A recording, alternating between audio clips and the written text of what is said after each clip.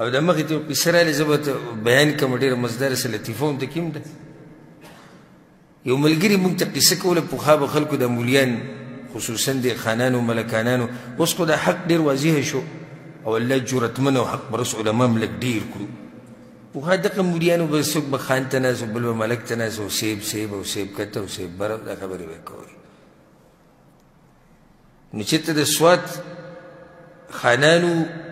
د هغوی سره خپل مولا او د بونیر د خانانو سره خپل مولا او د دوی په مسله کې اختلاف راغی خانانو دا ووایي چې موږ خو په دې قصو نه پوهېږو خو دغه ملیان به پوه کېږي که د چا مولا وګټلی یو د هغوی دې ټول علاقې وګټله او چې د چا هغه پړ شو نو څه شو ټوله علاقه پړه شوه وایي صحیح نو دې د بونیر د چې کوم ولو دې لک تکړه په علم او د سواد چې د کوم ولو نو دې د سره په سره پوهې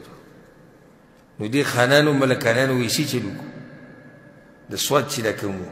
وي خپل مولا باندې سمې چرګې وخورولې او غوښې ولکه هغوی مطلب دا چې د زور به دې سره ډېرېږي دی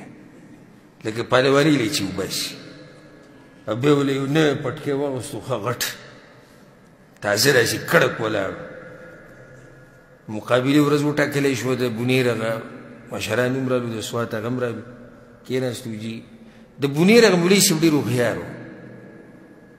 هغه وویل چې زه به دغه مولوي صاحب د سوات ته په اشارو کې وایي چې کومه که ما ته پته ولګي چې زه په اشارو کې معلوموم که دا سړی تکړه وي نو بیا ورسره نه کښېنم ځکه چې ټول قوم پړ کېږي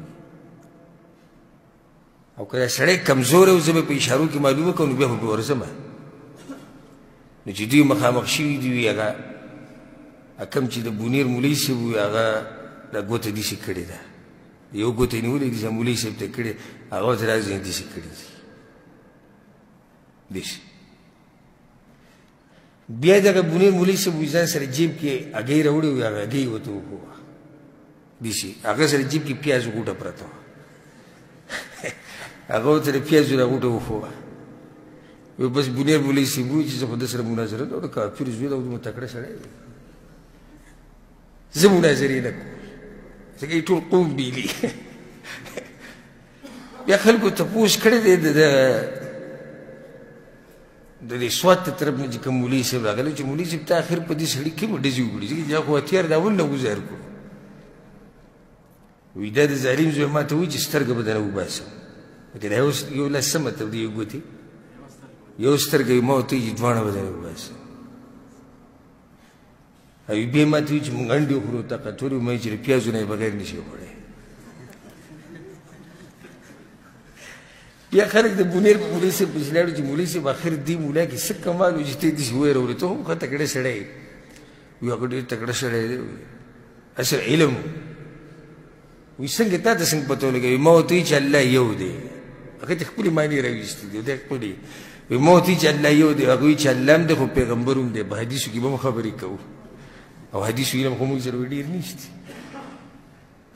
وی بیا ما هغه ته هګۍ وغوجې دنیا ګول ده بیا هغه وی چې داسې ګول نه ده هغه د پیازې د غوټو په شان ګول ده نو د دې سره خبرې کېږي او ډېر تکړه اجر خبرې نه کېږي ما د اول نه وي هغه چیک او خبر نو چې هغه ځان لا غریب بس نه پوهېږي دا دې خلکو به دا مولیان ساتلي دا مقابلې به وي ښه نو ستاسو نه دا سوال کوم خبره خو منځ کې